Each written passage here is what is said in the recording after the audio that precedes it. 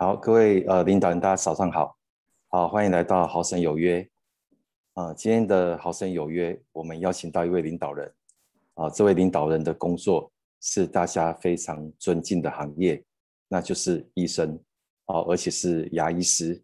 啊，而且是啊新北市牙医工会荣誉理事长。啊，现任新北市植牙学会的理事长。那他呢，非常的热心公益。啊，参与的呃许多呃许多的社团活动，那也上过一些节目啊，分享有关口腔保健的一些健康啊专业的一些议题。那后来呢，因缘际会，啊遇见了吕伟，啊他非常认同我们的产品，也非常认同公司的理念，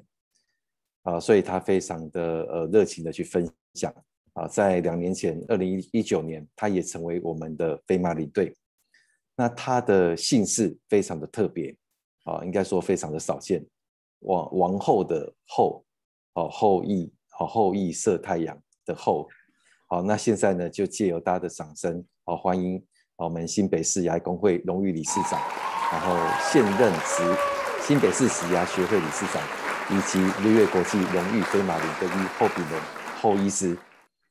哎，后医师，哎，大家早，大家早。来，先跟先跟呃大家打个招呼。嗨，大家好啊！大家呃，非常高兴看到大家都来这边啊。我们看啊，燕豪对我的这一次访谈也非常高兴。这一次有这个荣幸呢，能够呃接受这个燕豪的邀请，好来跟大家聊一聊啊，本身关于我的一些点点滴滴。那事实上，刚刚燕豪也提到了简单介绍，我曾经担任。呃，牙医工会的理事长，那现任也是植牙协会的理事长。那当然在这里面最主要也是在我们的立会国际里面也担任到一个非满意的一个这个领袖位阶。那当然也是我们大家团队伙伴，也是一个大家在这里共同学习的一个很好的一个事业。所以今天在这里看到大家，真的非常的高兴啊，是非常感谢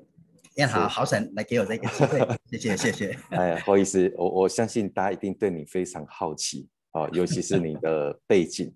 啊，然后来接触瑞这平台，那可不可以先简单的分享一下你的学学习成长的经历？是的，OK，其实我从小就诶。呃，算老师很照顾，然后呢，也是呃爸妈的一个一个一个期望，所以也当然是希望说，哎，将来能够走医学的方面。那当然，在台湾里面的医学的这一种路径呢，其实是也蛮辛苦的哈，因为要呃挣破了头才能够考上一个志愿，所以其实过程当中，哎，跌跌撞撞啦，不断的一个认真的读书哈，这样的过程。那当然到了考上了高雄医学院之后的话呢，也是这样子的，开始接受教老师教授们他在医学方面的一个。一个一个呃教授，那当然很多东西在学校里面，说实在是一个基础，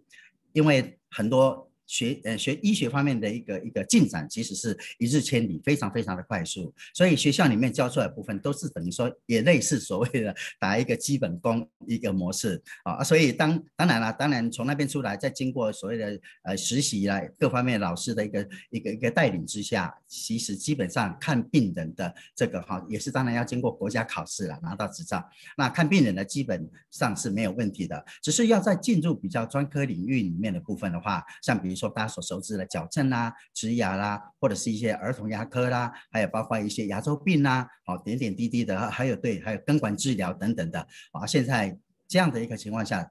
呃，在我们的卫福部也不断的要求，所以现在目前也增添了很多专科医师的这个制度的设立。所以在这里面的话，其实学校毕业之后，我们其真正都还不断的在啊加强学习，所以往往有时候你会发现，礼拜六、礼拜天诊所为什么会休息？因为其实我们都利用六日，好在接受这个一个一个一个在继续的后面的后续的一个教育。那这个地方有时候我们会延聘到学校的教授来继续上课，有时候会延聘国外的讲师或学有专精的一些啊一些高级的一些一些一些学长们哈老师们，他们来继续开课。所以我们的进修其实是毕业后。才真正的开始，这个情况有点像我们例会真正在例会里面的事业的开始，是当你上了飞马之后，才是事业的开始。好，我想这句话我也听过豪神他讲过，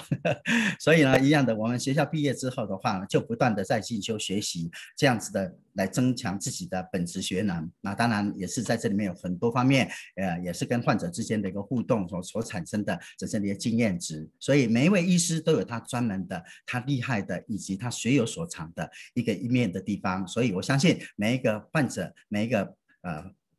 病人呢，他去看他的医师的话，每一个医生都非常用心的啊，一样的用心、用情、用力，在帮这个病人诊治他的啊他的病情疾病，希望他痛的要死，能够快速的减少他的痛苦，然后。第二天再回诊的时候就已经笑嘻嘻的好情况下，啊，如果真的不行的时候没关系，讲一个笑话给他笑一笑，他就忘记啊他的痛苦也不错的方式啊，所以在这里面就不断的学。那我这里面是因为就是我也曾经到加拿大去，那加拿大那边我也去进修哈，也去啊获得加拿大的这个国家的他们的牙医师的这个的一个一个执照啊，所以我也在加拿大也开业开诊在那边，所以在这整个过程来讲，我的过比较。不一样的地方是我有台湾的经验，我又本身在加拿大开业好几年的经验。那在这里面，两边的国情跟两边的制度的要求比较有点还是不同的。那当然就要入境随俗。所以在加拿大、美国这个系统是相相似的情况下，我们就会比较能够知道哦，原来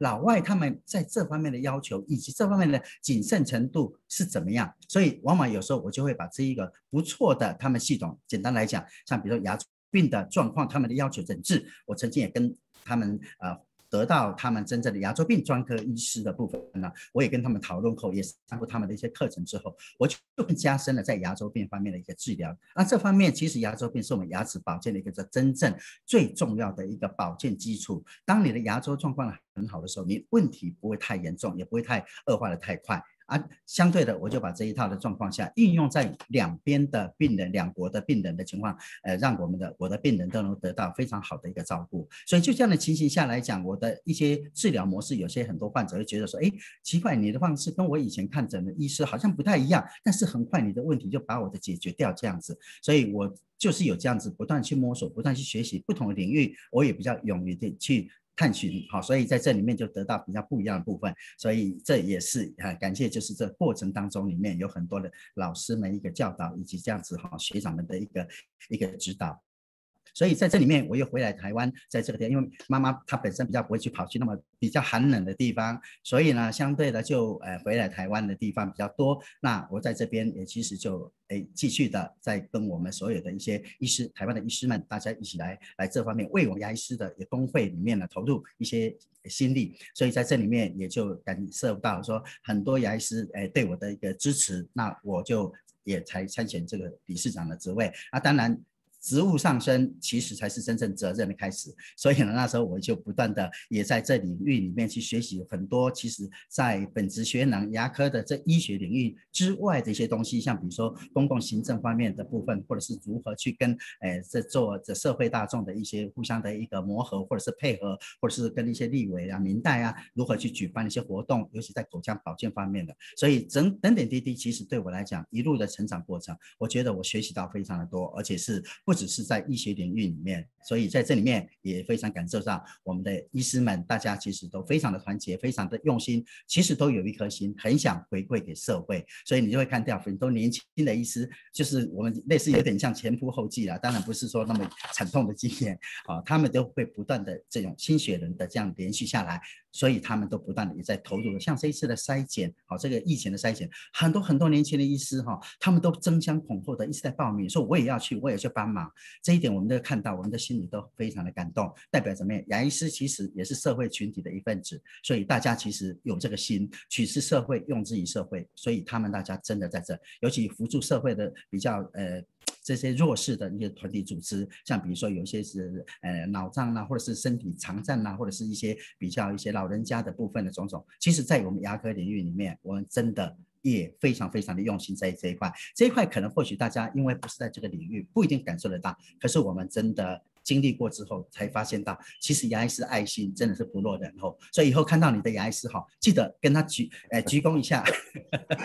啊，所以我的过程大致上来讲就这样经历过来，所以在这里面学习遇到的贵人很多，遇到的很多的教授的一个指导哦，啊一些这样子支持我这样子，所以我才能够说能够接受接任到一些理事长的职位。那在这里面当然也是一起来把整个的我们牙医界好能够提升到更好的一个情况啊，当然也是对患者之福，因为我们在学术的部分来讲，虽然担任这是学术的那个职位理事长，但是我们要在从事的部分就是属于学术方面的。一些课程、一些活动，哈，这方面比较多，所以相对的也把医生的本身的领域多增加他的本职学能的强化，那相对对患者也是一种福利的。所以我的过程来讲，其实应该算是都还蛮好的，因为遇到的贵人很多，好，所以在这里面在做所谓的。啊，我们现在目前线上的一些所有的好朋友，其实哪一天都会成我的贵人，也说不定啊。所以在这里的话，也跟谢谢谢大家啊，多多支持，多多帮忙，谢谢。最主要是谢谢好婶啦，对不对？哎，给我这个机会。嗯，好，那后一次就是，我是比较好奇啊，就是念医学是你从小的志愿，对嘛？然后在就是医学有很分很多类别嘛，那念牙医师哦，就选择牙医也是你的第一志愿嘛？也算是啊，因为在第一个那时候，主要就是选读医，好当医生，好当医生。那自己说什么科什么科，说实在那时候还不太有明显的一个概念。那所以呢，后来在考试，因为我们那时候是也联考，并不是这种正式的部分，所以在联考上来讲，第一个优先志愿可能就是医学系，再来就牙医系这样点点滴滴的啊。但是我们这边现阶段这几年的风潮下来之后，很多人第一志愿都已经开始写牙医系了，他他。分数也可以到达医学系或哪里，但是他的分数高到甚至，呃，就是选择台诶台大的牙医系为第一志愿，好，或者是北医啦，或者是阳明的牙医系为第一志愿。现在目前风潮，为什么呢？因为这个风潮其实在国外。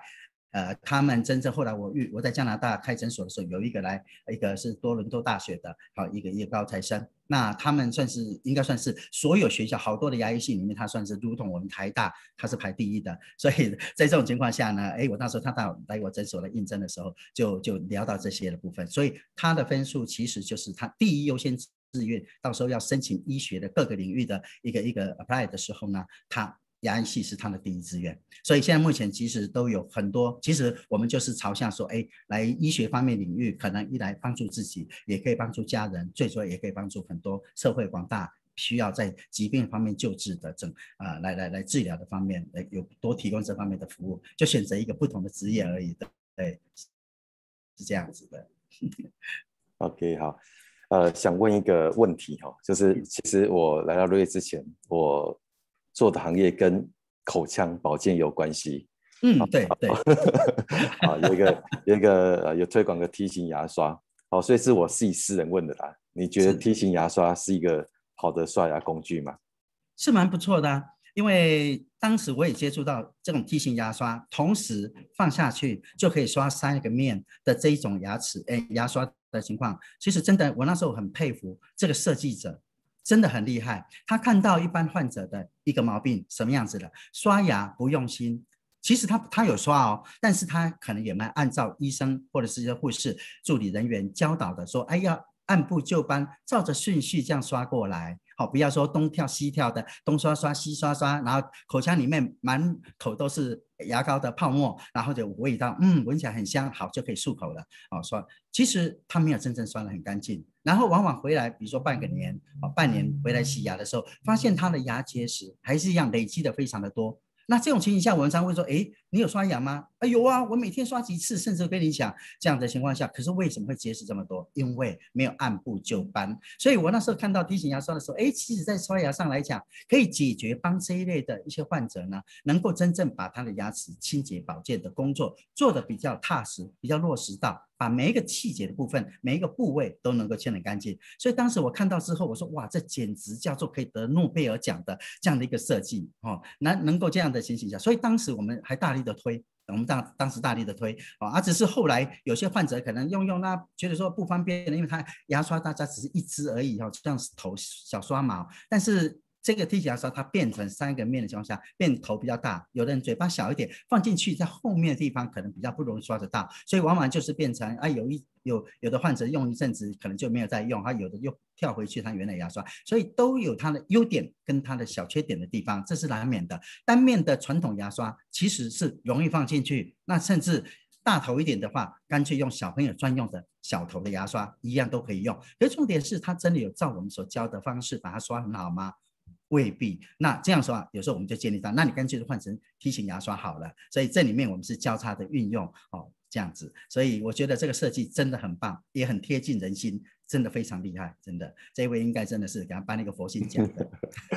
好，谢谢侯医师。好，那么回过来就是说，那呃，当初您的推荐人呢是怎么跟你介绍瑞瑞的？哎，这个说起来真的非常有点是好像上天上天。就就在某一种机缘或者一种缘分之下，呃，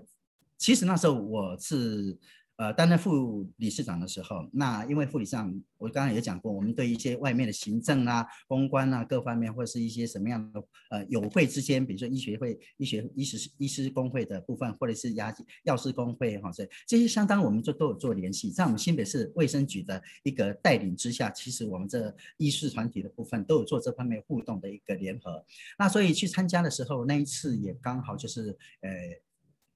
差不多也喝了稍微一点小酒，有点微醺的状态下，啊，我就回来台，回来回来家里的哈，坐计程车回来。那在这里要强调哈，哎，喝酒不开车，开车不喝酒哈。那在这种情况下，我坐计程车回来的时候呢，哎，刚好我家旁边就有一个呃，是那个全家便利商店。那在这个地方的时候下来，我刚下了车之后，哎，突然就听到好像从天空一句话出来，后医师喊了一声，我想东看西看没有人，哎，左右旁边没人那。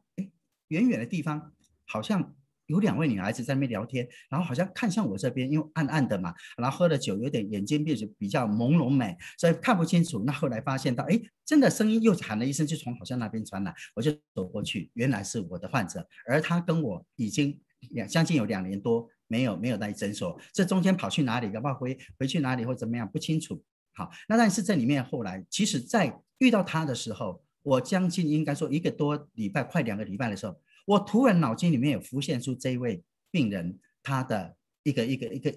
印象，说，哎，对哦，这个病人好久不见，跑去哪里了？我心里面在想，只是后来没有请我的助理说，哎，去查一下，或者是打一次电话联络，没有，因为忙嘛，有时候就会忘记，一个脑筋浮现出来而已。没想到竟然那一天遇上他，然后他在跟我讲这些东西的时候，就稍微啊，你喝酒啦什么，就闲聊一下，哦，这样啊。但是我那时候，他那时候看了。很像是我的病人，声音就几乎就是如同我一两个礼拜前突然脑筋浮现的那个病人，但是问题是脸，哎，怎么感觉不太一样的，有些变化的。后来我他我就跟他讲说，哎，请问一下你是不是姓？他就说你猜猜看。我说你是不是姓王？他跟我讲不是。好，他还在跟我在那开玩笑，不是，我说啊，完蛋了，人家都认识我，我竟然还把人家叫错了，那真是太失礼了，对，我说啊，对不起，对不起，我现在喝醉了，所以有点脑筋记不清楚这样。然后呢，他说好，没关系，明天我去诊所哈，早上去那边洗个牙，然后到时候你就知道，先把卡拿出来你就知道。我说好好好好，这样子，好，那就这样的情况下踏上了。那他到早上诊所来的时候，当然洗完牙，洗完牙之后，好了，他终于的，哎。露出他的本真面目了，他的真正的用途呢，就是侯医师，你知道干细胞这个东西吗？我说我当然知道啊，为什么？因为我本性比较呃，就是活泼一点啦，比较也也因为在工作职务上来讲，跟一些其他科别，尤其一些医美科的医师，好这方面接触的蛮多的，所以在这里面我就比较知道说医美他们跟应用的如何，为了要让女孩子更加漂亮，为了要增加年轻，好这些种种的情形下。那他们用的是干细胞的部分。我很早那时候在当下，应该说，我早在六年多到七年前的时候，我就已经知道这些相关的啊，所以是比较有点像超前部署了哈。那时候就接触到，那然后他跟我提到这个东西的时候，但是我知道的部分是指打针注射的，而口服是一点概念都没有。而他竟然跟我提到这个东西的时候，我竟然就觉得说，哎，没想到打针注射竟然可以改为口服，那这未免技术层面。很厉害耶，就如同我们现在目前打莫德纳，好，我们在疫苗的这个情况下，莫德纳前呃上个礼拜的时候，它竟然好像礼拜四、礼拜五竟然已经有讯息出来，他们本来是说在明年的十二月底可能才会出现口服的这一种疫苗，但是没想到上个礼拜的时候，竟然他们提前一年，他们说在今年年底，说不定就可能会有口服。大家想想看，打针注射进展到口服，你说这个层面是怎么样的进展？大家可以思考一下。所以在这里面，他告诉我，哎，口服的部分，我当然就很怀疑。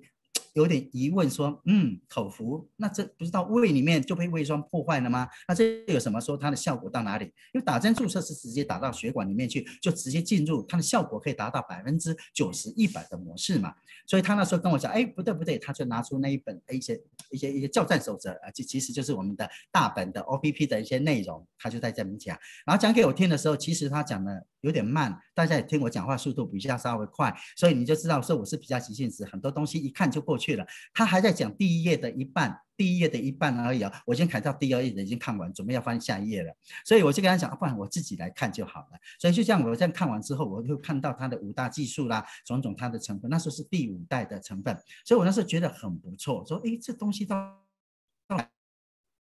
哪方的，就给我说，那这两颗你先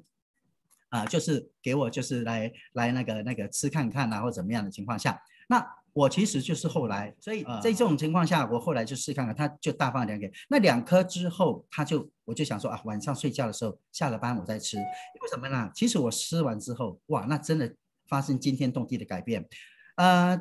我当时因为看诊也看了这样子二十几年啊，这样一讲，一直大家都知道我岁数了哈。那所以在这种情形下，我其实坐骨神经痛或颈椎突出，我一个学弟才小我三三四届而已，他竟然已经到台大去吊脖子调整颈椎突出的问题呢，已经吊了两次了哈。所以你知道我们问题很大。那我最主要也是因为肌肉酸痛，酸痛到半夜四点多会痛醒。是人痛醒，而且痛醒的时候没办法让你说哦痛一下醒起来好再继续睡，是真的在那边痛，一直锥心的痛，然后我只能找一个比较尖锐的哦，尖锐的东西直接就往那个痛的地方去按下去，这叫以痛止痛啊，如同以毒攻毒一样。就这种情形下，我才能够按摩把它揉练揉那个肌肉纠结在一起的，让它松开着，我才能够继续将近要半个小时，我才能够继续的睡觉。就这样的情况下，您知道。我这样的情况受这个苦，已经只能靠按摩去去推，好，所以我就不想去吃一些肌肉松弛剂或西药的部分。就这样的，我吃那两颗之后，竟然当天没有发生所谓的这种肌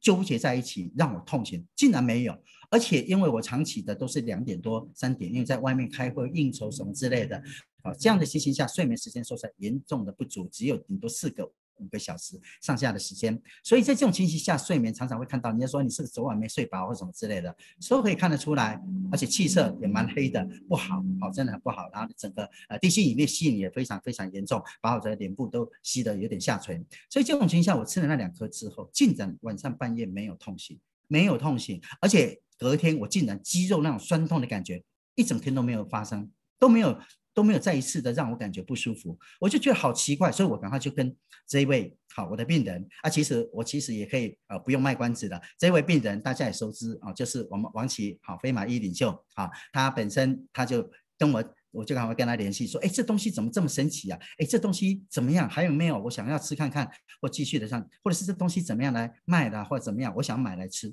我就这样开始。后来就买了这样子整套来吃的时候，我就发现从那时候开始，第两颗吃完之后，就一直到现在都没有所谓的那个半夜痛醒的情况再度发生，就没有。所以肌肉酸痛的情况下纠结在一起，我甚至可以感觉到我肌肉紧绷到那骨头韧带咔咔咔咔的声音。但是吃了这个产品之后，竟然有很大很大的改善，我那一种。不舒服的感觉，那一种纠结在一起的感觉，也有大大的一个降低了。所以我觉得这个产品来讲，对我的健康，对我的身体的这种不舒服的，有很好的改善效果。所以我觉得说，哎，这种情形下也不错啊。对于我不喜欢吃西药，来来，万一有什么样的情况副作用，对不对？所以我干脆吃这东西来改善一下，说不定会比较好一点。虽然说它不一定有它真正所谓的疗效什么之类，这个东西我其实也不期望的，因为它本身就是一个食品，又就是是一个一个保健类的东西，所以我不会去期望它有什么样的。可是重点是对我的肌肉松弛有很大很大的帮助的时候，这就是我所需要的部分。我至少不用再去按摩，按摩每一次按摩四个小时，然后每每一小时每一分每一秒，他这位按摩师是直接用手肘去按着我酸痛的地方，那那个过程不叫享受，那简直叫痛不欲生。所以在这种情形下，我终于不用再受苦了，不会再这种所谓地狱之苦了。所以这就是我当时，因为我巧遇到王琦好。我们飞马领袖，他当时当时他也是刚接触没有几个月，他就本身拿这个东西来推广给我知道，然后就因为我本身有这些毛病的情况下，我吃了以后产生非常非常好的效果，所以这就是为什么我踏进立会来接受这个产品。那这过程当中，其实应该这么说好了，我对于一些呃新奇的事物，我比较好奇，我也是好奇宝宝哈之一，所以呢，我对这些东西我都很能够哎。Open mind 来接受，所以我的病人常常很多各个不同的产品呐，哦，包括一些大家也知道熟知的安利。我第一个安利的产品叫做它的热水器、净水器，啊，净水器不是热水器，这样的产品来买来用。买来用的时候，也是当时看这位先这位先生一对新婚夫妇年轻人啊，也在做这个事业，也在推广。哎，我想想，对哈，我自己本身也要吃一些水质比较干净的部分，就这样买，所以我就很容易接受它，然后也听听他们的制度，然后就包，然后这里面就有很多家不同的东西，包括连从。国外来的卖机油的、卖轮胎的这些东西都会来跟我讲，但是我会接受，我会来听听他们到底有什么不一样的地方，因为讲多增加我一些不同的人生层面的接触面，我不要只是完全只是医学这么一个小小的医学领域而已。啊，说到外面变成生活小白痴，什么都不懂哈，这样子。大家这都会常常说出来。我现在目前也很多人骂我，有点像生活白痴。为什么？因为讲一些东西，我实在还是不太懂啊。虽然说一小小的、简单一点概念。好，那所以在这种情形下来讲，我就开始也深入去了解每一家它本身的好处、优点在哪里，产品的优点在哪里，还有包括他们所谓的，如果把它当成事业的时候，是要怎么去 好好的呃去去去经营推展。那我当然也不例外的，哎，就在我们的例会这里面也是吃的效果很好。接受我的肯定之后，我就会想更想了解，哎，这样这一家也是既然能够采取用这种模式的情况下，到底跟其他家有什么不同？因为我听了太多，十几家，应该至少十五六七家以上，我听了太多，包括还包括我在加拿大的那边的时候，一些华侨，他们也都跑来跟我讲他们的情况。所以在这种情形下，我接触的非常多，我也会做一些比较。但是我们议会的制度真的是我跌破我的眼镜。幸好我是在桌子上，所以眼镜掉下来我还可以带回去。它真的非常的不一样，而且非常的让我讶异到为什么会有这样的一个设计理念。所以我在这里从那时候开始，我是起对我们林文峰总裁他设计这一套的一个这种所谓奖金这种事业推广的模式，我真的非常的佩服他，真的非常非常优秀的一位一位领领领导人一个总裁的部分，他能够设计出这样的一个好讲非常。独特又与众不同，但是有个真正可以让经营者能够在这里面获得非常好的一个奖金的一个报酬，所以这样做事业，每个人其实是不是很想要呃把它当成一个终身事业，然后又可以在这里面真正得到一个。还有微薄的一个一个一个收入，对不对？这样子的话，对于养家活口也好，或对未来的养老养老的部分的一个一个保障，哈，这种退休金，事实上是大家所希望的。所以在这里面，我就这样一路走过来。那所以我在这里面非常感谢，当时如果不是因为好，我在以前两年多没见的这个病人，我们的王启飞嘛呢，哎，真的。就没有今天我在这个地方，或许也说不定啦，因为太多病人都会跑来跟我说，说不定我会成为另外一个团队，说不定会在夜好里面团队，也说不定啦哈。所以这地方真的是缘分的关系，所以我的接触人接接触的过程来讲，其实也是因为感觉就是好像老天，你看看在接触到王启的时候，呃，在一个因缘际会就喝醉的情况下，哎，竟然就这样跟接接触，而这里面竟然两。一两个礼拜前，我脑筋竟然浮现出他的、他的、他的影像，就想到说，哎，是不是？所以没想到，真的老天爷真的会会会帮助天助自助者，所以他要我自己好好的帮忙自己。是的，所以这是我的过程。嗯，OK，其实我发现很多的牙医师都有像您这样的一个职业伤害，就肌肉酸痛啊、颈椎啊、腰椎伤痛。是，那应该是 p a t i 对这方面应该会有相当的帮助。好，所以我想想了解，就是说从医生的角度来看，啊，来看我们的 p a t i a 啊，您您是觉得这产品的一个，呃，可以发挥一个怎样一个效能？其实 p a t i a 因为它最主要强调的部分就是干细胞这个成分，啊，这个地方就是一个非常独特的。像目前，呃，在当时我接触的时候，几乎可以说没有这样的一个产品出现。有的话就是真的打针注射，那当然在国内那时候还没有正式的开放的时候，其实唯一的办法管道就是到国外去。那国外有很多地方，有的日本，有的中国大陆，有的到瑞士、乌克兰这些种种的部分，甚至连俄罗斯。因为当时我就已经在加入这个，因为我跟医生刚刚有提到，我跟医生，尤其医美的医生来讲，啊，这这个领域里面接触的非常早，所以在这方面来讲，呃，我就有很大很大的一个概念在这地方。那后来这个我也加入了干细胞学会里面的哈，也是也里面的一个干部。在这种情形下，我们也邀请国外的一些讲师，像呃一些一些美国的啦，甚至从远从瑞士的部分啊，而我们甚至也带领医师到瑞士、乌克兰去做采访，去看他们的实验研究室的这样子进一步的深入了解。那那时候也曾经请了俄罗斯的一个呃医学教授。一个博士，好，医学教授，结果他的女儿也是同样在这个领域里面，也是医学教授、医学博士，哦，他们两个父母女党就真的在掌控俄罗斯是国家级的这种干干细胞中心，所以我那时候接触到对干细胞产产生的效应，以及它真的用在真的在医学上的瓶颈，像比如说烧烫伤。甚至一些车车子，比如说发生意外车祸的时候，在，诶，在车在路面上勒残，然后整个皮肤有些脸部，甚至有的身上的手脚的部分，那个细沙的部分全部进入你脸部的时候，根本对医师来讲或助理人员，他根本没有办法去一样一样挑，有时候深入到里面去，你根本看不到的情形下怎么办？那个地方长出来一定都是疤。一定都会形成小小的疤，所以就算是已经挑的差不多，但是因为它撕有伤太严重，所以它一定会有那种纹路的疤在身上，所以一定会留下一个不可磨灭的一种伤痕。那烧烫伤的部分更是，哎，被火纹身的这种情况下，大家看了有时候很惊，那那个肌肉痉挛在那边的地方所产生的，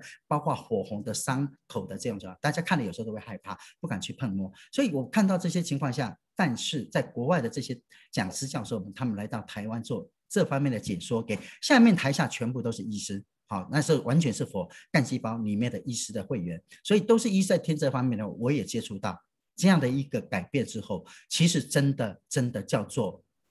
呃，完全 total 不会想象到说医学领域里面竟然可以让人家完全复原到几乎看不出他以前曾经曾经受过伤的的模式，所以后来我们台湾发生八仙尘爆的时候，因为那时候还没有开放，所以开放干细胞领域，所以呢。很多我还后来陆陆续续都遇到有一些朋友，或者是他说他的孩子就是八仙尘爆的患者的情况下，他们把他送到日本去那边哦做这方面的治疗，后来还真的人数不少。当然整体比例上来讲还是不算多啦，可能只有呃顶多百分之十、百分之二十的人有这样啊。当然因为这是要经费的问题。好了，在这种情况下。哎，接触到干细胞领域的接受，可是这里面我已经知道，干细胞产生的在医学领域的治疗上来讲，有一个非常非常让医生有，如果他没有在接触干细胞的时候，因为其实在学校里面都有教干细胞，可是时间的一个进展，他没有接触的时候，这里面的进步进展其实叫做一日千里，不可不不敢去相信，真的会非常的压抑。所以我知道它的效应。那在这种情形下来讲，干细胞总算在一百零七年。好，九月份的时候，其实我们要感谢现任的卫福部哈陈时中部长，当时就是他在电视上面做这方面的一个宣布，说我们台湾正式进入免疫学疗法，好，而干细胞疗法是其中的一项，在这方面的话，大家可以运用这方面。从那一次宣布完了之后，您知道，在卫福部就每就开始几乎每个礼拜六、礼拜天都办。医学方面的教育的这的这这些课程，就是要让医师有些比较没有接触，但是他也有心想在走这一块领域的话，要拿到一个有这方面的医师的资格的情况下，我就开放这个课程，一直不断，而且这个课程上课的都是这个领域里面的博士等级以上的这样的一个老师教授，所以我也有幸就去参加，我在林口长庚医院里面接受这方面的一个培培训，它包括培训完了还要经过考试。合格合格之后才能够真正拿到那一张，所以你有有大家有机会来我诊所的话，我都挂在我前面的地方，大家可以来看一看哈。所以我在这干细胞领域里面，其实是有相当用心在这一块的部分。那在我们台湾正式的这样子都开始开放之后，我们为诶那个健保局也正式运用啊所谓的这一种疗法。那这个疗法里面就是运用在癌末的病人，因为这个干细胞的。费用说实在还真的是相当的高，不像我们健保，像目前去看的病什么，你几乎不用付什么费用，只要顶多是挂号费而已啊，对不对？但是这个免疫学疗法里面，卫福部它健保局只能顶多负担你一半，另外一半的部分一定是家属病患他自己去负担。那就我所听过的部分来讲，这个一半的费用是多少？是八十万。那家属也要负担八十万，两个一合加起来是多少？一百六十万。所以大家听到坊间里面常常都是一百五十万到两百万之间，其实那还算是好。那叫什么？卫福部是一百六十万，是用在治疗癌末的病人哦。其实只有真正癌末的病人才能用哦，因为他要要求你各种的手术、开刀、化疗、放疗、指指标靶什么之类都做过，最后只能盖上两个字“无效”的情形下，才能够正式启动的干细胞疗法。所以不是每个人说，哎，我想要，我现在目前在初期，我赶快用干细胞疗法，让我。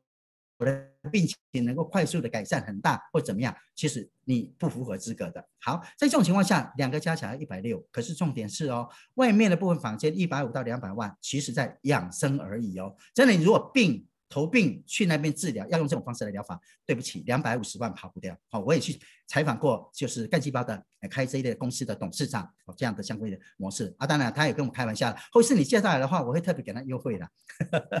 所以在这种情况下，我是接触到很多不同的一个情况下，那所以在干细胞里面真的有没有那么效果？大家从这边我的解说，我们台湾都会开放的。那你说，因为其实我们比日本晚了七八年。那时候在当时还没有开放的时候，我就已经接触到日本那边有人好在过来这边在做这方面的布局的时候，就聊到这边。其实他们已经开放在所谓的肝病的治疗了啊，然后接触的慢慢是糖尿病的治疗的部分。那所以台湾后来七八年后，我们终于开放了。开放的话，当然啦，这里面就受惠的患者就很多，可是唯一就只有癌末的病人，很可惜。可是现在目前又在今年的一月份的样子，我们的呃卫福部的那个那个副部长吧。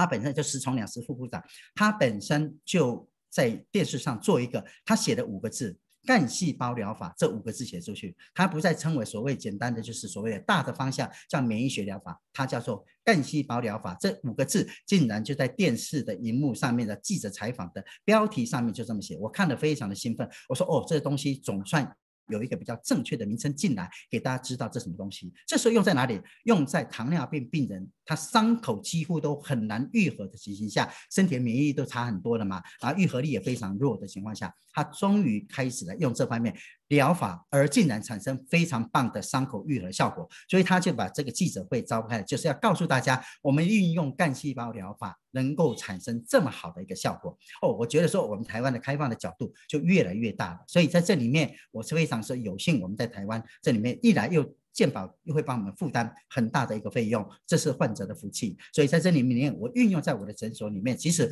每一个手术的部分呢，比如说拔智慧齿比较严重，看起来这一位病人体弱多病，看起来瘦瘦小小的，好像不经我这个折折磨，就是拔完牙一个多小时之后，隔天我就可以预测他已经肿得老大的情况下，我就跟他讲说，哎呀，这个东西来你来吃看看，这个产品的部分对你有帮助，我就会推荐啊。当然我是尊重病人的，因为我只是如同医生，哎呀，你的骨质条件不好，你牙周病。骨质比较稀疏，你要不要买一些钙片，或者是到药房里面去买这些东西来补充你的钙质或种种的情况下，我们都提供一个相当的建议。所以在这种情形下，我也帮助我的病人，他们在手术过程也好，或者比较严重的这种肿胀的非常严重，如何快速解除痛苦的情况下，除了西药。一定会给他吃以外，当然我就会一个建议给他，为什么？因为我知道干细胞它会产生非常非常让人家惊艳的一个效果，在这个效果只是一个身体的改善，啊，或许是增强你的抵抗力、免疫力的部分，来让自己的身体的一个免疫细胞，好，抵抗力提升，然后产生一个真正改善的效果。所以我们现在不是讲说干细胞会有这个效果，它是某种层次的一个部分的运转，这是在正确的医学。领域里面是这样的一个过程，好，所以跟大家做这方面报告，所以这就是为什么我会觉得说，除了干细胞，我们口服的部分对我本身产生很大的一个改善身体的状况之外，我会觉得说，因为它的价格又跟打针注射里面，你看看，即使是我们健保局在打针注射，都病人要负担八十万，在 M 的病人身上，那这个价格其实已经真的我们大家感恩了，因为健保局也负担八十万。两个加起来一百多万，对不起，如果在民间的话，你这种带病投保，哎，带病去治疗的话，两百五十万跟这个所谓的一百六十万，你说是不是也差了一大笔的价格，对不对？那因为我们口服，所以相对的，我们可以让你的有需求的一些朋友们或病患，他要养生保健，就像我们吃维他命 C、B 群啊，各方面的 D 啦，或这方面的部分一样的概念来给他。提供这方面的保健，二来部分因为有干细胞，它又会提升相对的我们身体的一种修复，或者是说身体本身的一个提升免疫力的模式，多增加一个管道。好这样子，所以这就是为什么我对这一个产品能够让大家用最低廉的价格，能够达到最高效应的，如同打针注射一个效果的这样的东西呢，我会非常乐意跟病人做这方面的一个推荐。那至于他接不接受，也看他是怎么样的来想，这都不会勉强的，是这样子。是，呃，那呃，因为后医师我觉得是比较开放的心态去了解这方面的领域。那呃，我想请教说，一般的医生对于这种呃干细胞疗法，他接受度高不高？那再就是说，如果有医生来推荐我们这样产品，客户会不会比较容易接受？其实刚刚我有提到，在医学院里面，我们还是学生的时候啊，在这种免疫免疫学方面的哈，这这个科科课程的话，是一整个学习的这种情况下。我们其实都知道有这么干细胞，但是在那个时间点，以我来讲，在那个时间点是根本就没有特别去强调干细胞能够运用到医学领域里面，真正用用在病人的身上，好，或者是一些呃一些治疗的一些情况，好像癌症、癌末的病人这样情况下，那时候还没有，所以很多的医师们，他们当时当然，呃，在可能现在呃越来越进步。那教科书里面，教授里面在教的东西，可能就会提到所谓的干细胞已经运用在所谓的医学领域里面的部分了哈，所以可能比较最近这几年的一些呃毕业的学生更加有概念，因为早期的部分只是知道有这么一个东西，那能够。运用在医学领域的一种治疗模式的模情况下，我相信当时他们是一点都没有概念，而事实上也都还没运用到。所以医生们要接受这个东西，其实也要看他是在哪个时间点。现在毕业的一些学生，好一些一些毕业生，一些未来的医生呢，他们相信应。该这个产品来讲是不陌，哎，不是说我们的产品，是说干细胞疗法的这种，它其实是不陌生的。那至于说他愿不愿意走这一科，也要看他本身，哦，就是他本身想要从事哪一科。你如果说他只是一个可能一些比较，哎，检验科或什么之类的部分，跟这些所谓的一些比较内科学或是一些比较这种，呃，一些一些一些比较走在时代尖端的这些东西，他比较没有机会接触的时候，所以相信的他可能也会有所疑虑。对不对？那难免的。医生本来在医学成长的领域里面，本身就是一个非常用用这种批判的，应该是说怀疑的眼光来看待一件事情。为什么？你不能随便就是说，哦，这个东西就可以全部拿来用。你要先思考这个东西对病人是有多少的利益好处，而害处又有多少？这种比例的话，一定要。所以在这种情况下，很多医生其实我相信他一定会有兴趣，他也会想要来了解。可是重点是。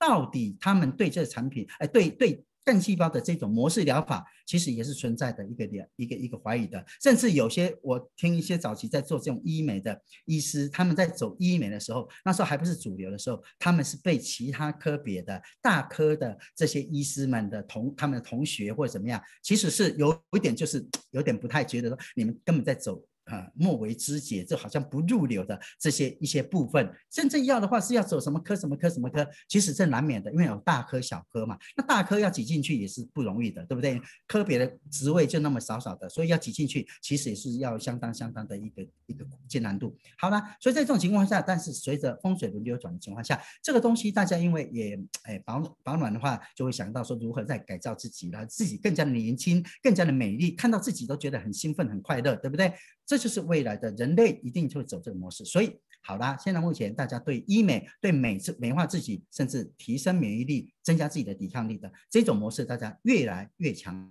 越越会去注重。所以这时候很多的医生也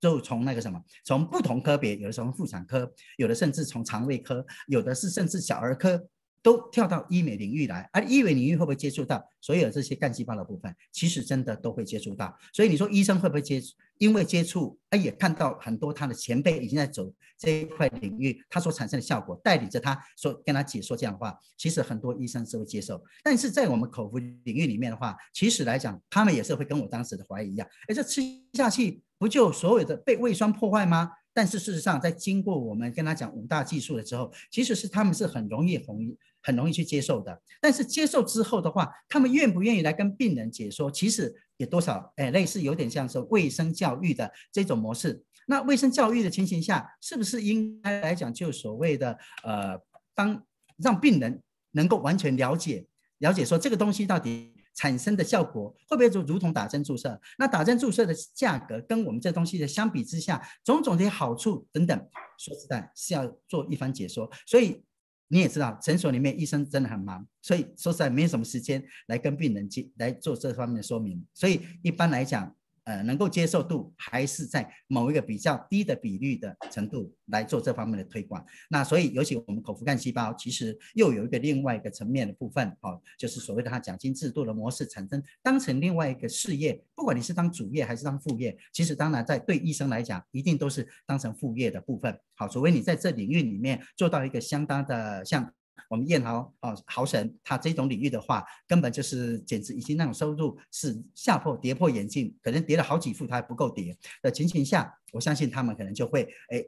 改弦易辙，变成就是以主业。但是这里面领域过程当中，其实我们本身是对有社会有责任，对病人有一种天职，我们是想来悬壶济世，来帮助病人改善痛苦。所以你要叫我们马上就放。掉这个这个工作岗位的话，我们其实还有他的一种心里面的挣扎，所以我们一般来讲都多少还是会有着就是还继续的看诊来帮助病人，因为很多病人他自己会跑来找你，像我这边门诊的时间我已经降到下午四点以后才开始看诊，但是呢有些病人还是要挤到那个地方来，所以我有看诊的时间说实在也都非常忙碌，所以这种情形下来讲，医生接不接受，我认为接受度只要你跟他做完。详细的说明，也让他了解说这个产品能够帮助到什么样的领域里面，能够让病人得到一个相当好的营养补充的话，我相信他接受度很高。包括我这边台中有个植牙医师，他那时候有一次在桃园的一次分享会里面，那一次是将近有两千多人以上吧的一个一个一个大型的聚会的时候，那一次就特别有一个领袖跑来带着他跑来找我，他说：“后师这位也是台中来的一个医师哈，他说看到你在。”一些我们的一个一个介绍的时候，他们有看到可能在我们的 YouTube 里面，或是一些我们的群组里面传的资料。他看到我在这里面领域里面，竟然能够做的这么样的快乐，又做的这么样的呃得心应手，他就很想说来知道 know how，或者是我怎么样在跟病人之间的互动。所以这里面其实你看医生会不会接受？其实会的，但是刚开始的时候他是拒绝的哦。他是怎么进来的？他是因为他太太吃到最后，在一两个月后吧。好像就改善了很大，他才开始觉得真的假的有这样的效果吗？所以后来因为太太的改变之后，太太说：“阿爸，你吃看看嘛，啊，就好像那个电视维大利广告，阿伯你零矿买了嘛。”好，就这样情况下，他吃了以后竟然改变了，腰酸背痛改变了。所以在这种情形下，他才开始来走。那这种情形下，又看到我的一些视频的情形下，哦，或者是我在台上分享这种 O P P 的情况下，当时早期几乎都是我在讲，我讲的至少有两百场以上，好，两百场以上。所以这种情形下，他就跑来问。所以你说，你看他会不会接受？就算是刚开始拒绝，是因为他不了解，但是因为因了解，不是分开，而是紧密的结合。好，所以这个地方我们其实都可以看得到，医生其实是呃能够好好的跟他说明，只是要有他空档的时间，要不然不容易。所以我常跟那时候跟王琦讲说，哎呀，其实我那后来也慢慢的跳到所谓的孔雀领袖的一个位阶聘阶的情况下呢，其实那时候也问我说，哎，其实后医师你有没有分享为什么你可以这样？我说，其实你到外面随便随便每一家牙医诊所，你跳进去去问看看，搞不好你就这样会碰上一个牙医师。就接受了，接受之后他也会马上跳回变成孔雀领袖，说不定你就这样子。所以啊，这一点话大家随时都有机会，随时都有希望啊。是的。好，那呃，我知道呃，我觉得后一次非常活跃，参加很多的工会啊、牙医师工会还有社团的活动，所以呃，有考虑从政吗？像我们呃卫福部长陈志忠啊，或者从事或者到娱乐界可以。因为我觉得你蛮蛮蛮有喜感的，我还蛮喜欢，我还蛮喜欢跟像吴宗宪那一种模式哈来 PK 一下。不过人家是大师了，这我们只是说在那边旁边学着一些哈。那平常呃大家朋友聚在一起的是一些还比较能够让气氛活泼，然后大家觉得哎生活本来就是要快乐，干嘛？不快乐呢？干嘛一副啊这样很很严肃、很好像很凶的样子啊？我是觉得快乐也是一天，不快乐也是一天，所以我选择就是快乐，所以选择。就是一个很重要的一个关键点，对不对？好了，所以在这种情形下来讲，您说到了有没有说有人找我从政？说实在，还真的有。那几乎是三十年前的时候啊，我那时候也算是开始就是初出茅庐嘛，那也开诊所了，那我也是加加入工会，然后所以开始接触到很多外面不同的社团。那这里面包括两边的一些政党阵营啊，或者甚至呃在。应该那时候好像叫新党吧，那时候还没有时代力量。这种情况下，但是我就在接触这里面过程当中，其实就有些人就开始来哎鼓动我说，哎，护士啊，你怎么样要不要加到我们这边来啊？然后到时候看是培养你参参加明代啦、议员啦什么之类的，哦这样子。但是我那时候觉得说我还没有到那个层级，因为怎么样，我本身呃其实在其实那时候真的很忙，早上我其实那时候早上。九点八点就开始看门诊，看到几点？看到晚上十一二点，那时候很多啊。当然了，那时候老人家很多哈啊，老人家也比较喜欢像我这种个性吧，可能所以呢，相对的一传十，十传百，大部全部都几乎都老人家，好这样子。所以这种情形下来讲，哎，我就接触到他们也在呃尽量就是看我能够是不是也可以在走从政的模式。但是我会觉得说，我的个性虽然是哎稍微比较活泼一点，可是对于政治方面来讲，其实我还没有那么这样的熟悉，而且我本身觉得说这个地方的在从政的这条路，以及说要当民意代表的这个这条路来讲，其实要为民喉舌，甚至要做什么，那要花非常非常大的时间。那我又有门诊时间卡在这个地方的时候，我会觉得说，哎，对我来讲是一个非常非常大的挑战。而万一两边都没有做好的情况下，那其实不是都对两边的一些哈，诶，病人或者是对选民来讲都不太。好合适，所以我那时候非常感谢他们阵营的人都有来劝说，也希望能培养我，能够能够成为说一个一个政治人物的这样的模式。但是那时候还不能这样政治人物啊，直接民意代表啊。但是在这种情形下来讲，我是有这个机会，只是我觉得说我其实还是在，但我的个性来讲，我还是觉得我本性在我们的医学领域上来讲，我可能会比较得心应手。那重新要重启炉灶来做。代言人哈，这样子所谓的民民意代表的代言人的话，我其实就就就就跟他们很切了这样倾向啊，所以 就就比较说，那所以其实有时候我会觉得人走出去，机会就会来了。好，在这里面其实我们常常讲机会，机会其实机会就是这样会掉下来，啊，只是说你要不要去把握，你要不要去掌握而已。那当然经过你自己的评估，好，所以在这里面。您又问到这个好像比较深入的一点点的部分，好，这也是平常我比较不讲的部分。但是事实上，好省果然就是好省，你果然挑出我的一些哈一些一些深层的一些东西。好，是是是。好，那呃，那你刚刚想说，因为牙医师工作很忙碌嘛，那你接触瑞之后，你的时间是如何安排去平衡？嗯，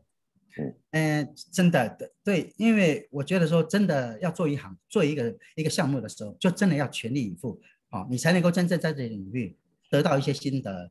然后开始有点小成就、小成功，才能够真正累积多少十几二十年之后，甚至在退休的时候，你才会真正有一种某种程度的，一来说是对自己可以有个交代，而对自己也本身有个满满足感。所以当时我开始来接触到这这个这个我们的干细胞这个产品之后，对它的效果，我是觉得说对我帮助很大。那之后我再来研诶接触的更深的时候，才开始知道说哦，原来它也本身可以当成一个事业，而这事业里面它有非常棒的一个。就是所谓的奖金的模式，那这个奖金模式，它真的我非常在这里又要再再次的感谢，就是我们李总裁哈，他本身在这种制度上的模式呢，愿意大大的把这个奖金波比弄得非常高，百分之六十到七十这样的这么高的比例，让真正想要在从事这方面的事业的人呢，他能够从这边得到相当好的一个类似像安定的力量，什么意思呢？你至少一个月的收入来讲，你能够。赚到足以温饱，甚至有一些储蓄下来，将来你要做什么呀？你要买房子啊，你买车子啦，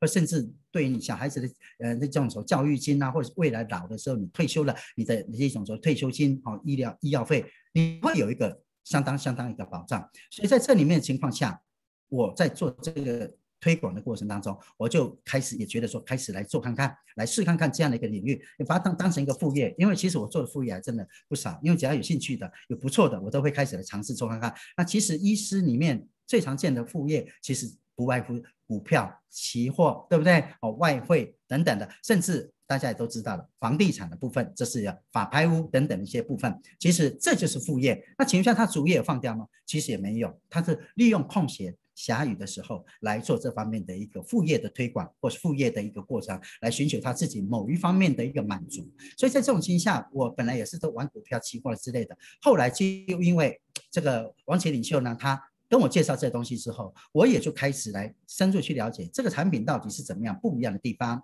那为什么可以弄成口服的模式？那它产生的效果是怎么样？最重要是，如果把它当成一个事业在推广的时候，这里面所产生的一个奖金是怎么样的模式？所以我在这种情况下就一步一脚印，也非常感谢当时就是我们海域大领袖，好，现在飞马舞海域大领袖，他当时非常非常耐着性子来跟我解说我们的奖金是怎么样的一个哈。安排的模式，因为这里面其实，因为刚刚我也讲过，我几乎有十五六家以上的这方面的一些不同的领域，他们的奖金制度的一个，我非常好奇，都会去探寻。那听起来大同小异，有的是更复杂，复杂到最后我连听都不太想再继续听下去，因为实在太难记，脑筋我的脑袋太小了，所以没有办法继续的听下去的情况下，好多少我有一些概念。那后来听了海域领袖在跟我讲的时候，我其实当时有一些就是好像踢馆的模式。看你说你这东西多好多好，然后奖金多好多好，到底是多好？所以这里面我是带着踢馆的模式来聆听他跟我所做的一个说明，我说明至少。将近说的差不多二十分钟、半个小时之后，我其实就开始在提问一些问题来做踢馆的动作。那他也不会说，因为我来做这方面的一个挑战，他会开始就觉得说你这个后裔是怎么那么刁钻，你这后裔是怎么那样子，好像刁难，故意没查找事做这样子的模式。他没有，他真的非常 nice，他非常耐的性子来跟我有问必答，讲得非常清楚。甚至我同样的问题问了两次，问了三次，他一样的再一次的回答。当然他回答也是一样的同样的问题。所以对我来讲，可能或许有点感觉到，好像是有。有点回答给我，但是又好像感觉好像还没有摸到那真正的心坎，有点隔靴搔痒。但是就这样的情形下，我真的非常感谢那一次。好，那一次还在敦化北呃南路的那个一个一个咖啡厅的部分，他来跟我做这方面的解说。好，所以我就开始觉得是不错的情形下，我才开始说我来尝试看看。所以我在跟我的朋友、跟我的病人在做这方面推广的时候，当然我的病人我会跟他讲以健康为主，以他对他的本身可能有一些甚甚至有时候他们本身的骨质疏松啦，或者是一些真的很严重的时候，那我们听到有一些诶案例的。分享，他们觉得说他们吃了以后，对他们整个的身体的改善有很大。我偶尔也会跟他们提一下，因为可以试看看这东西。那有些部分呢，像医师啦，像有一些我的好朋友，我其实就会不但是在告诉他们这个产品，我会告诉他们本身这个制度，在我所当时所理解的情况下。来稍微做简单的分享给他们知道啊，当然在更深层的话，我就带着朋友说，哎，来请大领袖来做进一步的说明。所以其实我是利用我的一些时间，应该是说我牺牲了我玩股票期货的时间，不再玩了。那时候真的就停下来啊，我就听王启的说明说，你就不要再玩这东西了。你看耗了多大精神，然后你眼睛盯着荧幕哦。笔电还有包括电脑，其实当时若早期有来我诊所的时候，你会看到我诊所旁边里面的一个小空间里面，至少有七呃将近十个荧幕，然后有好几台电脑同时分享出去，一打开就是。线路图、走势图，还包括它的一些所谓技术分析，他们都常常变得讲：会是你你家里为什么摆这么多台呃电脑跟那个荧幕这么多？我说没有啦，因为厂商他放在这里当测试哦，我就跟他们开玩笑说测试。那所以在这种情形下来讲，我后来就干脆不玩这种所谓的这种金融商品，我就开始真正花很多时间在做这方面研究，也就越研究越对这个制度、对这个一个一个奖金，慢慢的它跳跃的方式的话，真的让我。当时也是跌破眼镜，跌破自己的眼镜了，好，自己把自己吓坏了。因为这里面的跳跃模式，包括连我儿子当时问我说：“哎，老爸，你现在目前做这个东西两三两三个月了，那到底是怎么样？有人家一般直销都赚的，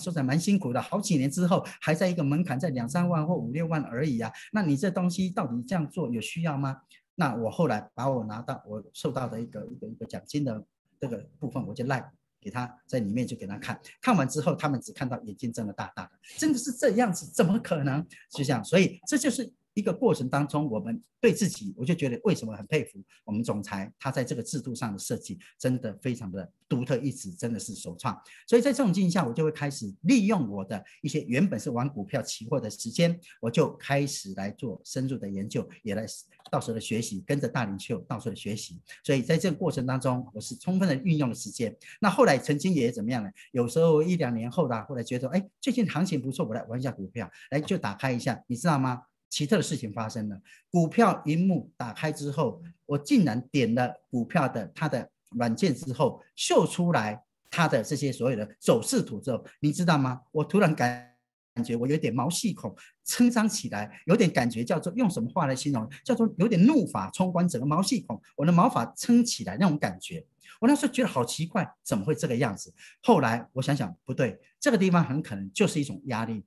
也就是所谓的我身体的本能。因为我一段时间一两年都没有在摸这些东西，而竟然重新再去打开它，想说今天行情不错，来个玩个单冲啊，或者是怎么样的哈，投资看能不能稍微小赚一点。没想到才一打开之后，我竟然发生这样的一个改变，一种感觉。我那时候才感觉啊。就是压力，所以为什么这个压力是无形的？所以很多人他身处在压力当中，压力锅里面，他自己都不知道。而等到真正发生的严重的毛病，我们最常熟知的压力最容易造成的问题，就是一些癌癌症的这些的病痛的一些问题的话，好，这时候就已经来不及了。所以我那时候一瞬间感受到我的毛发这样感觉撑张起的时候，我就知道啊。不行，我感觉还是不要动，所以我当下马上就关机，就把它放下来。所以那时候就没有，所以在那时候就这样子，整个来讲，我就感受到压力真正为什么会造成人身体的毛病，而且很多人身处压力当中，他自己都不知道。而我是因为，因为在很一段一两年的情况下，重新开机来看股票的这个软件打开之后，我竟然产生。某种程度的身疼身体的本能反应的抗拒也好，或者是一种好像有一点就是武装起来要跟他好像对抗，来来来保卫着，就像刺猬一样，伤起来要来跟敌人哈，要要对他对抗的人这种模式，所以我那时候才知道，所以我就开始还是不要去玩期货，所以我应该要感谢当时也因为王杰领袖他当时来介绍这产品，那也因为这样我把。期货、股票这东西，商金融商品就停顿了一段时间之后，哎，或许就是因为这样，才能够让我的情况大大的改善啊！当然也有这个产品很大的帮助，所以我都利用一些闲暇之余来做这个东西的动作。好，来来告诉我的好朋友们，他们这个产品到底对他们有什么样的帮助，有什么好处？还有包括如果能够有志一同，大家一起来做这个事业，当成一个副业也好，甚至如果说你觉得时间已经快届临退休的时候，好，你就甚至可以怎么样，就可以把它当成专职啊，就像我们王林子、王飞马一样啊，他国泰汽国泰的这些寿险业的部分，他退休完了之后呢，现在目前全职在做。我们的这个干细胞领域的事业在做，它现在目前也非常快速的就成为飞马的部分了，而且也帮助了非常多的朋友。这一点我觉得真的是助人又自助，然后又是呃己利又利人的一个一个事业，所以我觉得真的很棒。所以在这里面，我真的为什么会愿意花时间在这领域里面去分享给大家，这样子希望帮助更多的朋友。好，问问你问托医师一个问题。啊，就是如果做立位跟当牙医师，啊，如果啦能够选择一样的话，你会做怎样一个抉择？你这个问题也未免太热，要我一切二二马上就。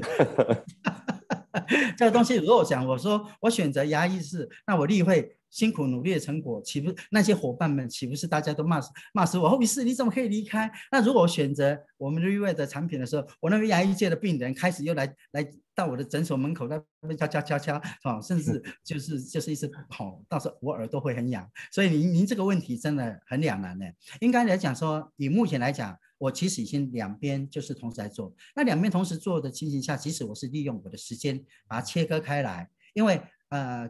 天职之所在，我本身要对病人好，希望能够帮助他们的一个健康的改善嘛，哈。那自己也在这方面，我其实花了很多的功夫，很多的学习，哈。所以在这里面，我至少说不是说非常非常的呃有有相当的一个术有专精，但是至少我在处理上来讲，病人也都很多人满意的情况下，那所以在这种情形下，哎，我其他的时间我继续的也在。挪在我的干细胞领域里面来帮助更多的伙伴们，帮助更多的新朋友，让他们更加的知道这些所有的一些东西呢，到底有什么样的不同的地方？因为经由我们本身医师专业领域，在医学领域里面，对干细胞其实会比其他领域的人知道的更多啊。当然，很多人接触到例例会之后，因为接受到非常非常多的这种干细胞领域的一个资讯的话，其实来讲浸润久了，自然也会成为大师的哈。但是在这里面，我是用医学的方式的角度来切进来的时候呢，也可以让很多患者很很多病人呢，呃，或者是身体有有有不舒服的一些病痛的一些朋友们呢，能够很快速的来接受这个产品，或甚至可以开始来尝试这个产品，来一步一步的慢慢去体会。所以我觉得这东西来讲，其实两方面都是非常非常好的。那当然有朝一日，就像我们为什么所谓的退休，在正职的方方面来讲，其实是要付出劳力代价。就像我讲的，我学弟他竟然颈椎在台大掉了两次脖子，另外腰椎的部分，我一个大我两届的一个学长，他做到最精腰椎突出，坐骨神经痛。后来也是他亲口告诉我，他吃了我们的 v i v 这种干细胞，吃了一年之后，他的这种整个的情况大大的改善了，他有感受到它的好处在，所以他那时候也说，哎，你学弟你为什么会来接触这个东西？当然我就把我的腰酸背痛啊，我们半夜痛醒的这种情况下跟他分享，所以这种情况下来讲。其实每一个会进来吃，继续的来吃这个产品，甚至因为这个事业也能够帮助多很多的一些身体有毛病的人呢，那甚至已经是走投无路，他用西医、中医或者甚至一些啊什么样的偏方啦，或者是种种的模式，还是没有办法改善的时候，其实。可以多一样的选择，所以你看选择是不是很重要？所以在这里面的情况下，我们能够帮助很多的人。所以你现在目前要我去把它一切为二的话，好像有点难。但是我可以预计的部分就是说，我在例会的部分里面，这个事业干细胞里面，其实我基本上来讲，只是张口在说话。观念上的分享，跟一些事、一些一些见证的一些分享，让大家能够真正对这个事情、一个产品能够更加的了解，让他对这个事业对他到底有多大帮助。尤其现在这个疫情这种情况下，大家都知道，事业越大，其实受伤受害越大，所以有很多甚至都这样关门了啊。所以像海霸王啊，真的都关了，还有包括 Uniqlo 啦，还有包括一些卖那个那那那个那时候说呃呃呃叫什么课啊？那个咖啡的那个那个一一课。什么课？那个那个好，不管他，反正 某某课哈，那个那个咖啡厅，他们也是一样，就收了哦，裁减了四百多位的员工模式啊，就是这样子。所以在这里面，我觉得说，我们在这里面，如果说能够诶，只是做一个说明的情形下，就算说我老了，对不对？到了七八十岁的时候，我还是有因为产品能够给我相当一个保健，所以我就会觉得说我的。体能各方面其实靠嘴巴来说明，会比用体能用双手肌肉酸痛，然后甚至手到时候帕金森的时候，我手在那边抖抖抖啊，我能抖的时候，我还能够开刀去植牙切切开吗？那时候可能就为了患者好，为了自己好，还是不会去冒险做这种事。那那时候相对的，我在牙医的时间。会因为某些部分没有做的，我的时间还是会缩短，就如同我现在缩短到四点。即使我会缩短到四点，也不是说因为真的要去做利润。我刚才有讲，我其实那时候在玩股票的，所以在这种情形下，我会缩到四点，是因为我的肌肉酸痛，我觉得我没有办法再继续从一些年轻刚毕业的哈，或者是有些人体能很不错，平常在运动的，他可以从早上看到晚上。我已经不行了，所以我那时候从本来是两点改到三点，后来三点现在改到四点，所以就是这样子的情形下，我会慢慢的在因应我本身的身体状态，然后把把能够帮助更多的人的模式来做一个区隔，所以我相信应该您所想要问的问题，呃，我其实已经多多少少已经在某种暗示了。是是是，好，那来到绿叶有没有你特别想要感谢的人？哦，说实在，我在这里面哈，就像我们刚刚讲的，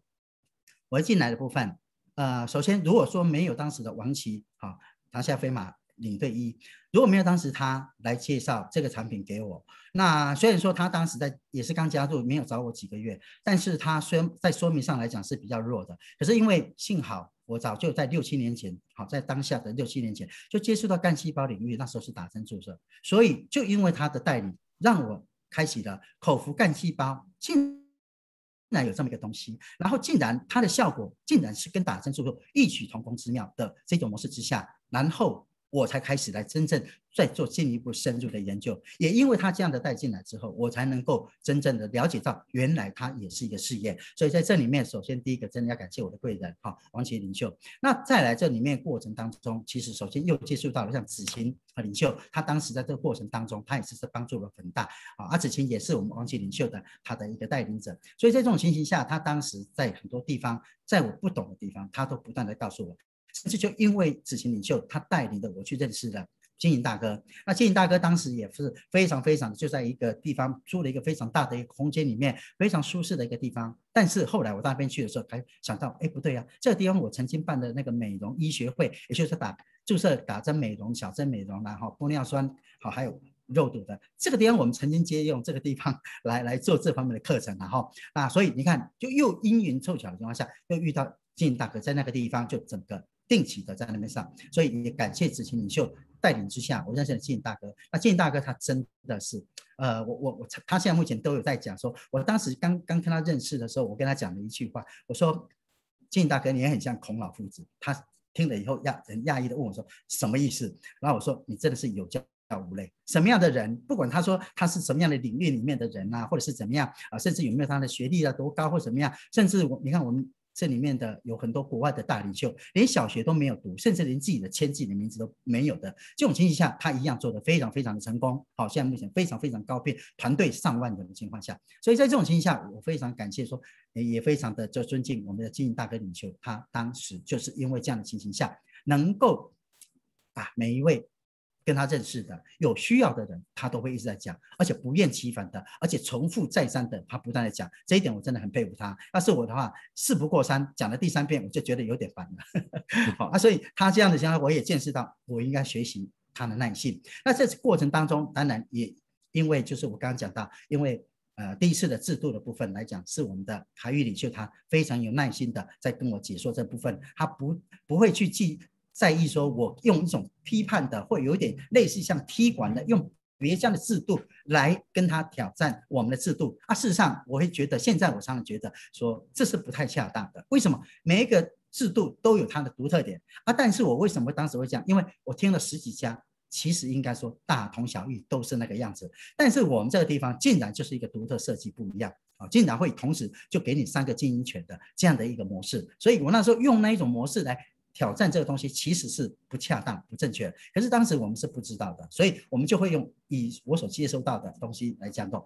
他非常 nice，就这样来告诉我们，来帮我解说，我才一步一脚印的慢慢去学习到这一块不同的地方。那但就接触到我们的红利领袖，他在这个过程领袖，啊，当时我们在参加参会的时候，红利领袖非常热情的这样把我们招待。我刚开始进去的时候，我想说怎么在这个地方啊？他来上课还有的吃，我从来没看过有的吃。在我们医学医学院所办的或诶，我们医学领域的做讲座里面，顶多就是一个咖啡啦、甜点啦什么之类。他竟然还可以吃，还吃火锅吃这么好哦！所以到那边去的时候，也非常接受到说红利领袖。那这过程当中，红利领袖也是真的非常 nice，他非常非常的用心在教我一些。东西，甚至可以说是用深入浅出的这样剖析式的在告诉我一个过程，让我不要去跌跌撞撞，不要让我去当碰得满头包的情况下。所以在这里面，其实你看看我所讲的这里面非常非常多的领袖，都是值得我非常感谢。那这里面其实，在上面的部分就是我们范董领袖，我非常感谢范董领袖。刚开始我初试提升的时候，我也要跟一位律师，好，也是我们豪神您的同行。我那时候认识的一位律师，我来跟他讲这方面的时候，我因为不太会讲，那时候说真的还刚开始不太会讲，那我就想说，哎哎，既然是这样子的话，刚好我们的范董他有空，那我就请他啊。范董真的听我一讲说这样子要请。帮他请他帮忙的时候，他真一口就答应了。那时候我还特地请他到我们板桥有一个就是专门在吃海鲜店的地方，在那边跟他跟一位律师聚合。他就这样子一直在讲，花了时间。那对方说实在也是很用心听，但是说实在的，呃，他也是有满心的怀疑。后来对方也就真的就买来吃。但是在这里面，我看到范董的一个一个，他不会有所谓的这种身段的一种架构，它真的是放低，它非常非常的 nice。这里面我看到所谓的越有。成就的人啊，他真的身段越低，就如同稻穗越饱满，其实下垂的越低。这种那种模式的一个一个真的是展现，所以我看到一个领袖的大格局。那这里面又进行大哥的带领的情况下，然后不断的，那当然陶省在中间，我们那时候就已经听到你的大名，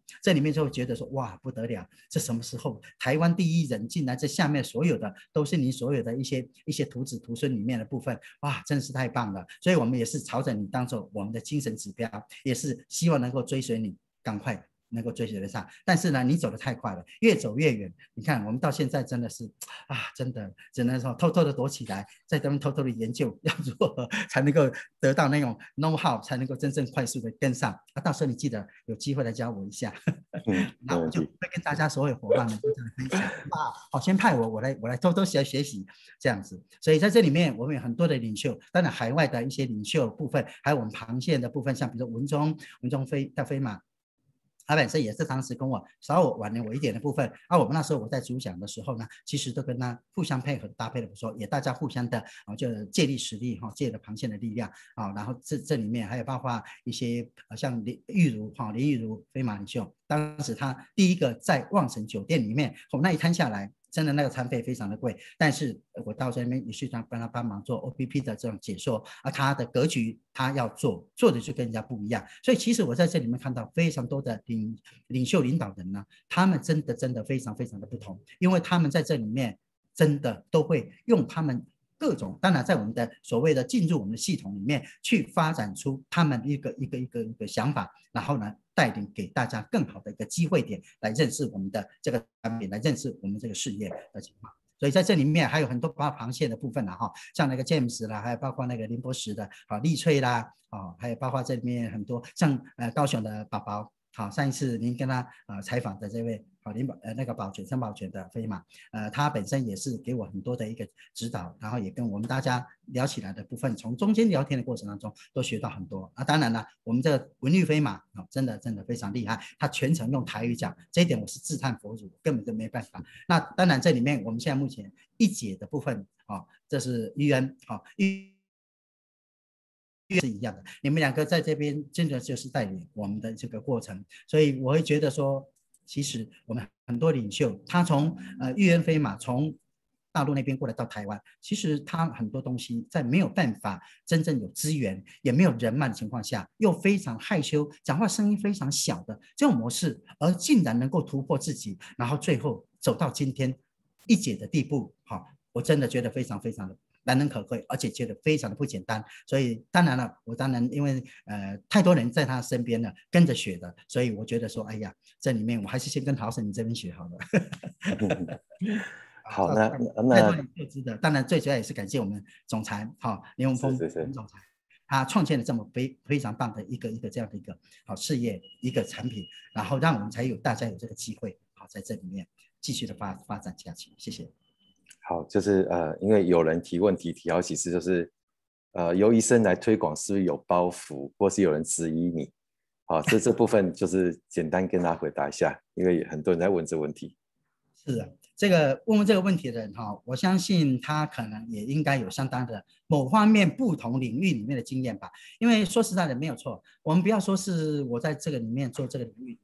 应该比如说同一个领域里面，好，我不是讲说我我在来一届的部分，我想说同一个领域，你进入不同的一个公司里面，那当你表现的各方面来说快速的提升的时候，说不定说不定你的同事同仁都会有些人会对你有点刺猬，对不对？或是怎么样？啊，当然这里面有些我在走这个领域里面的话，其实我们最主要的部分，我们是用的是传直销的模式。那传直销的部分，其实不要说是医生，很多一般的民众。对这个传直销，其实有很多负面的概念，因为他们以前在还没有真正进入立位不同的制度的以及做法的方式之下。其实大同小异，大家都 copy 来 copy 去，因为他们制度模式是几乎是相同的，所以他们所产生的部分，很多人到最后怎么样，都不断的每个月要买很多产品呐，在那边造成很多的累积，对不对？还没有吃完，已经下个月的已经寄过来的，啊，下个月还没有吃完，下下个月又寄过来的，又帮你扣钱，信用卡扣款，然后再来就是要不断的你去买产品或者怎么样，这里面产生很多让他受伤，很多让他没有办法去消化的一个情况，所以负面的概念就自然而然的产生。那所以这里面的话，有些人对直销、传直销，首先不问什么就已经定对你产生有定位，怎么会去做这东西？啊，胡医师，你本身身为一个医师，竟然这么容易就相信传直销的产品？那其实我刚刚有讲过，我对干细胞从打针注射，早在还没有好台湾还没有开放之前的六七年前的时候，我就已经接触到这方面了，而且而且还蛮深入的地方，因为我参加。干细胞的学会里面的，所以在这种情况下，我当然知道它的效果在哪里。那有口服也是阴错阳差，老天爷呃指使下来的一个一个福报吧，或者是一个缘分，所以才能够能够让我知道说，因为这我用最低廉的价格，而能够改善我身体一些病痛的状态，能够让我能够更加体力精神，包括现在的气色看起来都非常好。以前气色真的很黑的哦，这样的情况非常好，因为睡眠不足，然后气又郁结在身体里面，没办法去打开，所以在这种情况下，我能够改善非常的大。所以很多人不知道我的过程，而只是马上说，会是你为什么参加这东西？会不会有搞不搞错？你用头和阿达玛孔古力，哈，用坏掉了，就像我们科比讲的孔古力，哈，阿达玛孔古力。所以这种情形下，事实上有些人会对我有所维持，会就有这样。但是有些人也因为慢慢接触他的病人，跟他解说，或者是慢慢他接触发现，哎，这个病人病人甲跟他这么讲，有这个东西，又遇到病人乙，甚至一个他的朋友病朋友 C。好，这样子情况下，一丙来跟他说的时候，甚至搞不好路人甲遇到他的一个陌生开发，又讲到口服干细胞，而他才会开始，这东西真的好吗？因为他们一定会多少谈到见证，真的有这个效果吗？就如同我刚刚讲台中的某一位医师，他当时也是因为他太太坚决相信，太太为什么相信？因为他想试看看，真的有没有对他的身体的这种毛病呢能够改善，啊因为改善之后，他也开开始，太太说你就吃看看嘛，也就这样子，所以在这种情形下，有些人才会开始扭转他的观念。改变他的看法，所以在这里面会不会遇到阻碍、有包袱？肯定是有的，因为每个医生的理念不同，尤其医生说起来，每一个人，呃，这种能够读到呃这个领域里面的医生哈的情况下，其实他们都有很多他们的聪明才智的，而且他们的判断力跟独特的一个好行事风格的模式，说在都是一个非常好的人才。所以在这种情况下，他们会觉得说，后医师你为什么样要做这个东西？那事实上我。做这东西其实就如同我还没做这个事业的时候，我本身是玩股票、玩期货，对不对？好，甚至有些是房地产，我可以在这边啊差回啊的模式。但是重点是，当我开始觉得这产品对我很不错的时候，哎，又去了解到这个东西的制度能够真正赚到钱呢？因为当时海玉秀给我多，我那时候为什么后来到最那一次讲完制度之后，我能够真的还有一些问题。好，当然我那时候还不是非常了解啊，第一次的接触，还有一些问题，我竟然可以嘴巴闭起来不再提问，是因为他后来杀手锏使出来，他把他大家也都知道，海玉领袖他本身当时才加入七个多月，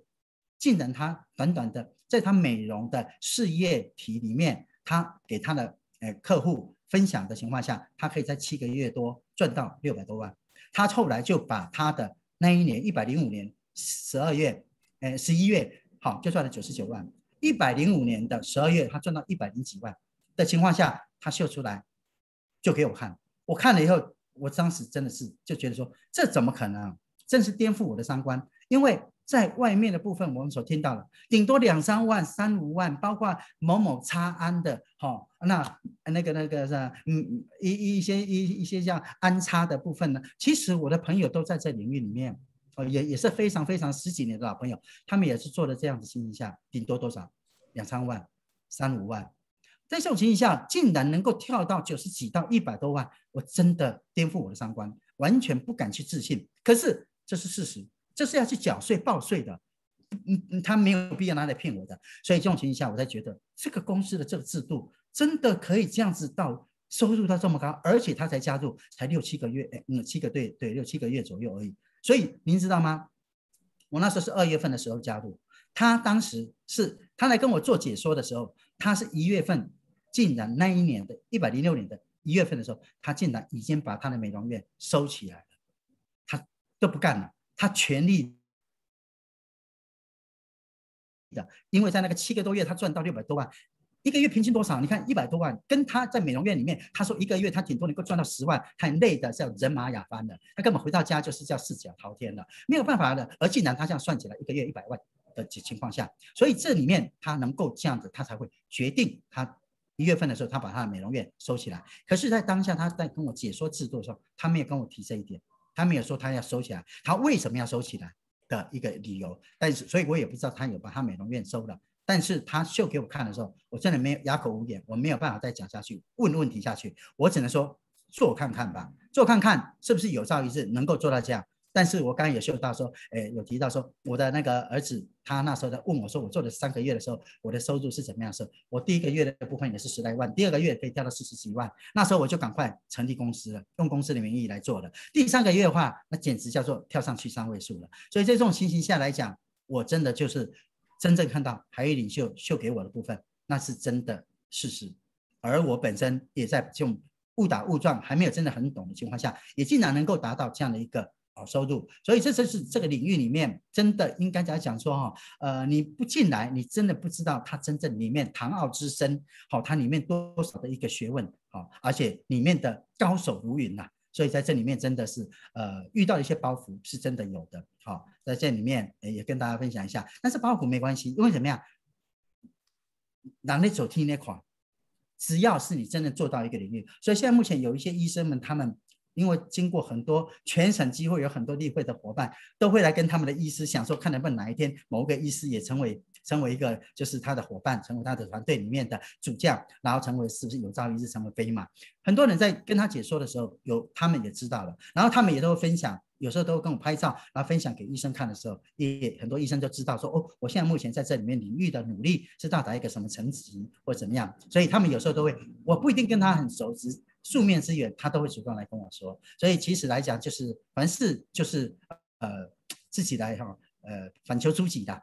自己来做，做好之后，只要自己能够觉得值得的，只要自己觉得说能够对得起自己，对得起其他的一些朋友们，我是觉得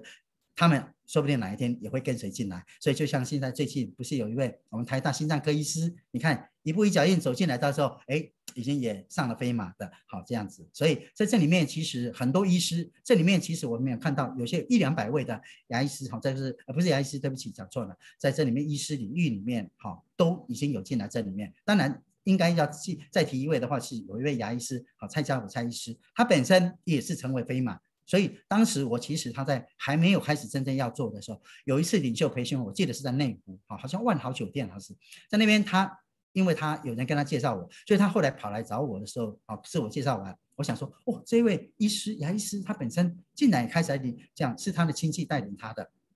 所以在这种情形下来讲，他就告诉我说：“哎，做做这东西也如同刚刚好像你刚才所问的一些一些某些问题，他在问我，以及说我是怎么去推广的模式。那后来他说，那这样子的话，我走这个干细胞领域，医师后医师，你你告诉我值不值得？我说，如果以长远眼光来看的话，以身体的健康程度来看的话，的一个补充营养品的话，我说实在都非常值得的。啊，但是在这里面，我们常讲两年。”就会能够上飞马，甚至你如何在两年内上飞马？飞马是目前最高的拼接，所以在这种情形下，你会不会成为飞马？我说一定会，迟早会。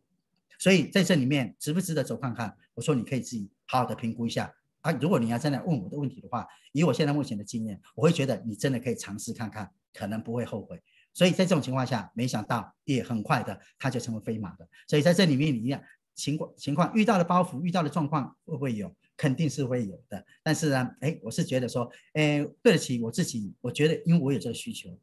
我有这个产品的，这样对我来讲有这个需求。再来这个事业上来讲，哎，我当成一个副业啊，然后再来就是能够帮助很多朋友啊，帮助伙伴们啊，然后我又可以因为我本身的医学领域的这方面的一个专业度，来帮助朋友更加深的、快速的了解，来接受，这不是一件好事一桩吗？所以我会尽量的去做。那做的话，慢慢的也影响到很多的医师朋友们，他们也开始慢慢去改观，是这样子的。好，那再问最后一个问题，好，因为可能有些人比较关心，就是呃，在使用产品上，针对不同的症状、年龄要怎么使用？那侯医师本身一天吃几颗的贴？这个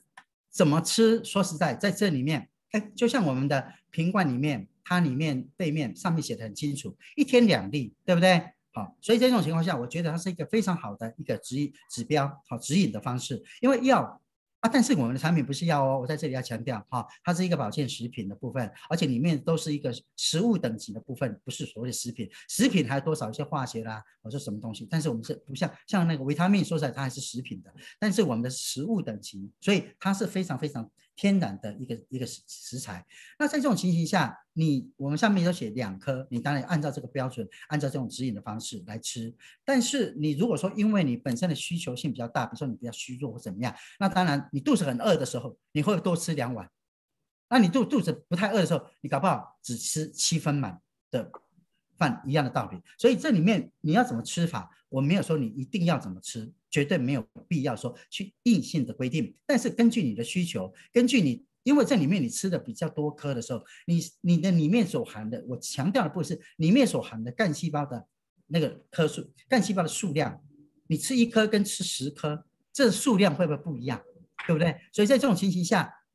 如果你真的觉得身体比较虚弱，你比较有需求的时候，你何妨不多吃一点？你一餐如果按照三餐来吃，你一餐如果吃一颗，是不是三颗的？你如果两颗，那是不是六颗？如果三颗，是不是九颗？四颗就是十二颗，您说对不对？所以在这种情形下，每个人可以根据你的情况，当然你可以把你的症状情况大家做一个商量，做一个参考，然后来你自己来做最后一个选择。当然这里面我自己本身就是一餐吃四颗，好，我一餐吃四颗，三三餐就是十二颗的模式啊。那从开始改变，我那时候当时其实也是一个一个一个情况下，是我当时在吃产品，可是有一次一个非常重要的一个选举的亚一届的盛会，好，在圆山饭店。竟然礼拜是礼拜六，礼拜六两天，我礼拜五晚上感冒了。感冒的时候，我想不得了，明天要选举，明天干嘛？我我又又又要负责这样一些一些所有的折冲啊，做各方面的一个安排的情况下，不行啊！我这样子到时候可能事情会会搞砸，到时候又没有办法真正能够发挥。